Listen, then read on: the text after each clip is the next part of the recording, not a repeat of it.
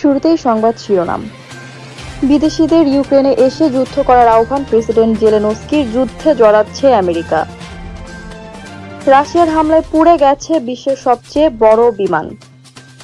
রাশিয়ার আতঙ্ক bank ATM থেকে অর্থ তোলার হিরিক রাশিয়ার কোনো সৈন্য রাজধানীতে নেই, বললেন ইউক্রেনের মেয়র। যুদ্ধবিরোধী বিক্ষোভে রাশিয়ায় আটক চার হাজার।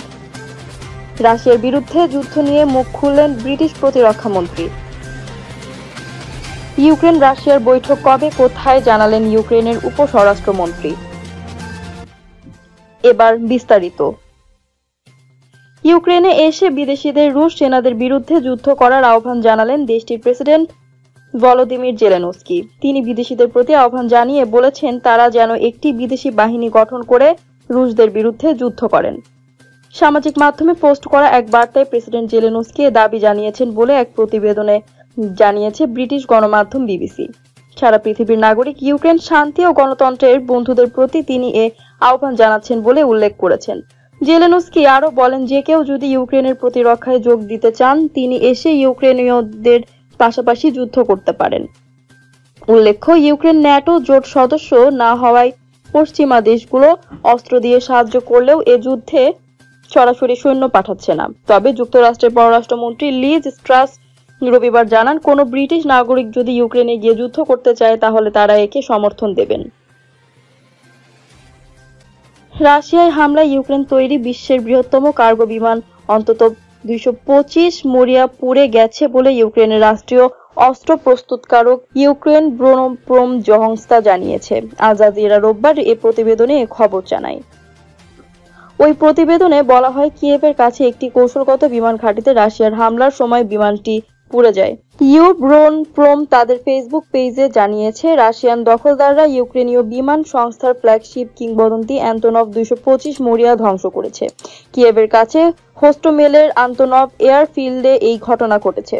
বিমানটি সরাতে তিন বিলিয়ন মার্কিন ডলারের বেশি খরচ হবে এবং অনেক সময় লাগবে বলেও জানিয়েছে ইউক্রো বোরন প্রোম এই প্রসঙ্গ টেনে ইউক্রেনের পররাষ্ট্রমন্ত্রী দ্রিমিত্র কুলব বলেন, রাশিয়া কখনোই শক্তিশালী, স্বাধীন ও গণতান্ত্রিক ইউরোপীয় রাষ্ট্র হিসেবে ইউক্রেন ধ্বংস করতে পারবে না। এদিকে রাশিয়ার প্রায় সাতাশটি যুদ্ধবিমান, ছাব্বিশটি হেলিকপ্টার, একশো ছেচল্লিশটি ট্যাঙ্ক, সাতশো ছয়টি সাজোয়া যান উনপঞ্চাশটি কামান, একটি বাঘ ক্ষেপণাস্ত্র ব্যবস্থা ইউক্রেনীয় সেনারা ধ্বংস করেছে বলে ইউক্রেনের উপ প্রতিরক্ষা মন্ত্রী মালিয়ার রোববার এক ফেসবুক পোস্টে দাবি করেছেন।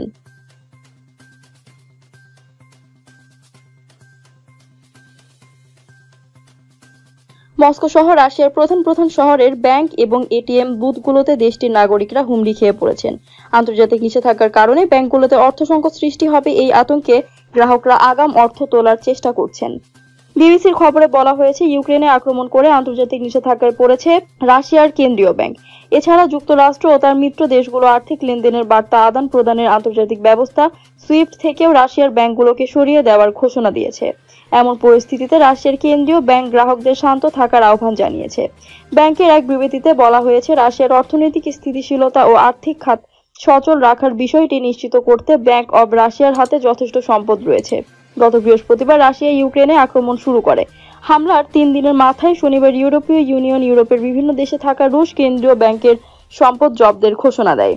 পশ্চিমা দেশগুলোর এই নিষেধাজ্ঞার ফলে ব্যাংক অব রাশিয়া নিজ দেশের ব্যাংক ও প্রতিষ্ঠানগুলোকে সহায়তা করতে বিদেশে সম্পদ বিক্রয় করতে পারবে না। বিশ্লেষকদের বলছেন, সাপ্তাহিক ছুটি শেষে আগামীকাল সোমবার বাজারগুলো খুললে বাজারে রুশ মুদ্রা রুবেলের দাম পড়বে। এর প্রভাবে দেশটির নাগরিকেরা ব্যাংকগুলো থেকে অর্থ তুলে নিতে আরও ভিড় করবেন। ইউক্রেনের রাজধানীতে এই মুহূর্তে কোনো রাশিয়ান সৈন্য নেই বলে জানিয়েছেন কিয়েভের মেয়র। জানা গেছে, রাশিয়ান বাহিনীর হাত থেকে কিয়েভ রক্ষায় লড়াই চালিয়ে যাচ্ছে ইউক্রেনের সেনারা, খবর বিবিসির। মেয়র ভিটালি ক্লিট সকো বলেন, সামরিক বাহিনী আইন প্রয়োগকারী ও আঞ্চলিক প্রতিরক্ষা কর্মকর্তারা শত্রুদের দমনে কাজ চালিয়ে যাচ্ছে। এর আগে কিয়েভের বাসিন্দাদের ঘরে থাকার আদেশ দেওয়া হয়েছে। যারা এই আদেশ ভঙ্গ করে বাইরে বের হবে, তাদের শত্রুপক্ষের সদস্য হিসেবে বিবেচনা করা হবে বলেও জানানো হয়। ইউক্রেনে রাশিয়ার হামলা চতুর্থ দিনে তীব্র লড়াই চলছে। ইউক্রেনের রাজধানী কিয়েভ সহ দ্বিতীয় বৃহত্তম শহর খার্কিভেও সংঘর্ষ চলছে রুশ সেনা ও ইউক্রেনের সৈন্যদের মধ্যে। সর্বশেষ খবর পাওয়া পর্যন্ত ইউক্রেন দাবি করেছে যে দেশটিতে রাশিয়ার চার হাজার তিনশো সৈন্য নিহত হয়েছেন। ইউক্রেনের ডেপুটি প্রতিরক্ষা মন্ত্রী রাশিয়ার ক্ষয়ক্ষতির তথ্য প্রকাশ করেছেন। তিনি দাবি করেন, এ পর্যন্ত রাশিয়ার চার হাজার তিনশো সেনা নিহত হয়েছে। সাতাশটি প্লেন ধ্বংস করা হয়েছে, ছাব্বিশটি হেলিকপ্টার বিধ্বস্ত করেছেন তারা। এছাড়া রাশিয়ার একশো ছেচল্লিশটি ট্যাঙ্ক, সাতশো ছয়টি যুদ্ধযান উনপঞ্চাশটি কামান, একটি এয়ার ডিফেন্স সিস্টেম, বেশ কয়েকটি রকেট লঞ্চ সিস্টেম, ত্রিশটি গাড়ি, ষাটটি ট্যাঙ্কার, দুইটি ড্রোন ও দুইটি জাহাজ ধ্বংস করেছে ইউক্রেনের প্রতিরক্ষা বাহিনী। সম্প্রতি পূর্ব ইউক্রেনে সেনা পাঠানোর নির্দেশের আগে রুশপন্থী বিচ্ছিন্নতাবাদীদের নিয়ন্ত্রিত দুটি অঞ্চলকে স্বাধীন রাষ্ট্রের স্বীকৃতি দেন রুশ প্রেসিডেন্ট ভ্লাদিমির পুতিন।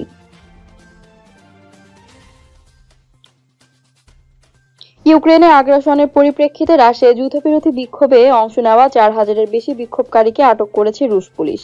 রোববার বিক্ষোভ পর্যবেক্ষণকারী সংস্থা ও ভিডি ইনফো এই বিবৃতিতে এই তথ্য জানায়।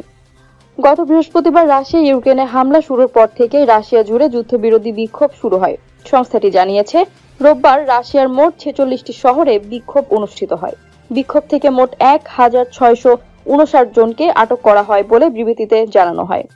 গত বৃহস্পতিবার পূর্ব ইউক্রেনের রুশপন্থী বিদ্রোহীদের সহায়তায় রুশ স্থল ও নৌ ও বিমান বাহিনীকে পূর্ণমাত্রায় অভিযান চালানোর নির্দেশ দেন রাশিয়ার প্রেসিডেন্ট ভ্লাদিমির পুতিন।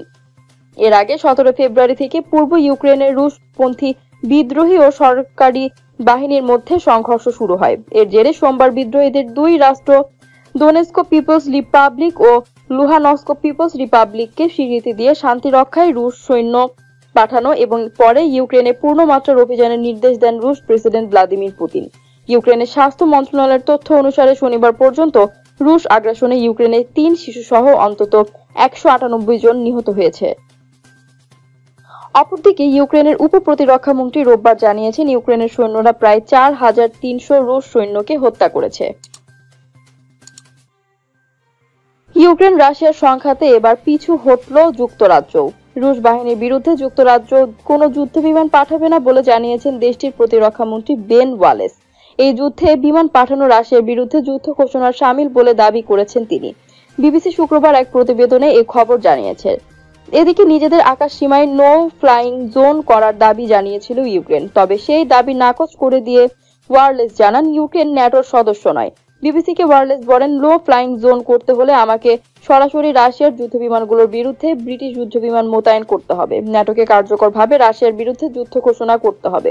তিনি বলেন, দুই সালে ইউক্রেনকে ন্যাটো জোটের অন্তর্ভুক্ত করার ক্ষেত্রে ব্রিটেনের পৃষ্ঠপোষকতা এবং সমর্থন থাকার পরও অন্য দেশগুলো চায়নি কিয়েভ ন্যাটো জোটের সদস্য হোক।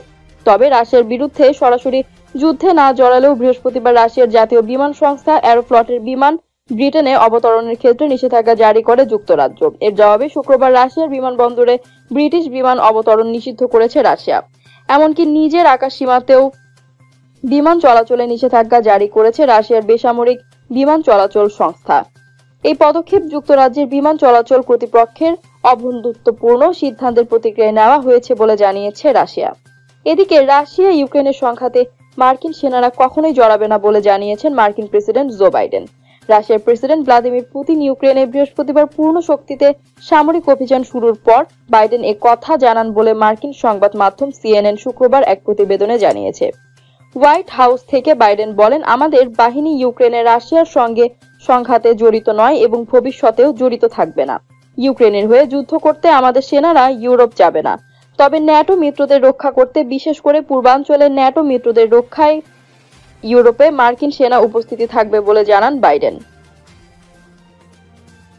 অবশেষে কোনো পূর্ব শর্ত ছাড়াই রুশ প্রতিনিধিদের সঙ্গে সাক্ষাতে রাজি হয়েছে ইউক্রেন। বেলারুশ ইউক্রেন সীমান্তে স্থানীয় সময় সোমবার সকালে এই বৈঠক অনুষ্ঠিত হবে বলে ইউক্রেনের উপস্বরাষ্ট্রমন্ত্রী ইয়েভ জেনি ইয়েনিন এর আগে ইউক্রেনের প্রেসিডেন্ট ভলোদিমির জেলেনস্কি, বেলারুশের প্রেসিডেন্ট আলেকজান্ডার লুকোশেঙ্কোর সঙ্গে কথা বলার পর এক বিবৃতিতে বৈঠকের বিষয়টি নিশ্চিত করেন। বেনেলস্কি বলেন, আমরা একমত হয়েছি যে ইউক্রেনের প্রতিনিধি দল কোনো পূর্ব শর্ত ছাড়াই রুশ প্রতিনিধি দলের সঙ্গে সাক্ষাৎ করবে। প্রিয়পাত নদীরা কাছে ইউক্রেন বেলারুশ সীমান্তে ওই বৈঠক অনুষ্ঠিত হবে বলেও জানান তিনি। এ সময় প্রয়োজনীয় নিরাপত্তার ব্যবস্থা করার দায়িত্বে বেলারুশের প্রেসিডেন্ট লুকাশেঙ্কো নিয়েছেন বলে তিনি জানান। তবে সম্ভাব্য এ বৈঠক নিয়ে রাশিয়া বা বেলারুশ কোনো বিবৃতি দেয়নি। এর আগে জেলেনস্কি বলেছিলেন, যেহেতু বেলারুশের ভূখণ্ড ব্যবহার করে ইউক্রেনের ওপর রুশ আক্রমণ হচ্ছে, তাই বেলারুশের ভেতরে এরকম কোনো বৈঠকে তিনি যাবেন না।